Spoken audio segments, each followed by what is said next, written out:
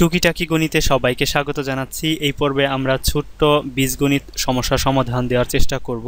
একটা সমীকরণ দেওয়া আছে A plus one by A সমান টু হলে নিচের সমীকরণ দুটির মান কত? এখানে A cube plus one by A cube. এটার মান কত হবে? একটা সূত্র আছে, বসিয়ে দিলেই হয়ে যাবে। তারপরে যেটা আছে, A power four plus one by A power four. এটাও ঠিক এ স্কোয়ার প্লাস বি স্কোয়ারের যে অনুসিদ্ধান্তের সূত্রটা আছে, সেটা বসিয়ে দিলেই হবে। কিন্তু যদি এমন হয়, এর power five plus one by A to the power six, অথবা এ এর power eleven plus one by A to the power twelve তাহলে কত হবে? অনেকে ঘাবড়ে যাবে যে এর কীভাবে সম্ভব? এই ধরনের তো কোনো সূত্র নেই, কীভাবে আমরা সমাধান করব? তো এটা খুবই সহজ একটা বিষয়, আপনি আইকিউ দিয়ে এটাকে সলভ করতে পারেন। এখানে যে মানটা দেওয়া আছে, আপনি এখানে লক্ষ্য করুন, কখন A plus one by A এর মান টু হবে, যখন এ এর মান ওয়ান হবে, ঠিক তখনই এই সমীকরণটা সম্ভব। তার মানে স্পষ্ট বোঝা যাচ্ছে যে এ এর মান ওয়ান এখানে। তাহলে আমরা যদি a cube plus one by a cube এটা সমাধান করতে পারি, তাহলে এটা কত হবে? আমরা দেখব অবশ্যই টু আসবে। কিন্তু আমরা আই কিউ দিয়ে খুব সহজে করতে পারি। যেমন এ, এর মান যেহেতু ওয়ান আমরা এই সমীকরণ থেকে বুঝতে পেরেছি।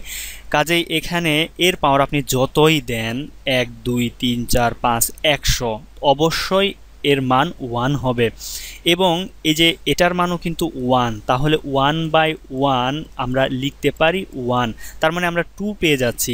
ঠিক একইভাবে পরের সমীকরণটা লক্ষ্য করুন, এখানে এ এর পাওয়ার ফোর তার মানে ওয়ানের পাওয়ার যদি আপনি ফোর দেন, অবশ্যই ওয়ান হবে।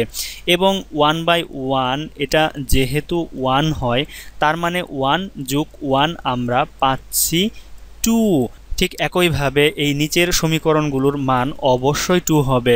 যেমন এখানে এর পাওয়ার ফাইভ তার মানে ওয়ানের পাওয়ার ফাইভ এখানে ওয়ান প্লাস এটার মান ওয়ান হবে। কারণ এর পাওয়ার আপনি যতই দেন, এখানে ওয়ানই আসবে। ওয়ান বাই ওয়ান আমরা লিখতে পারি ওয়ান তার মানে সমান টু ঠিক এখানেও মান হবে টু আশা করি বুঝতে পেরেছেন, কিন্তু অনেকে এটা আবার প্রশ্ন করে একটু ঘুরিয়ে যে a square plus one by a স্কোয়ারে যদি আমরা টু ধরি, তাহলে কি এটা সম্ভব? এটা সম্ভব না, কারণ a square plus one by a square এক্ষেত্রে এ এর মান প্লাস ওয়ান অথবা মাইনাস ওয়ান ধরা যায়।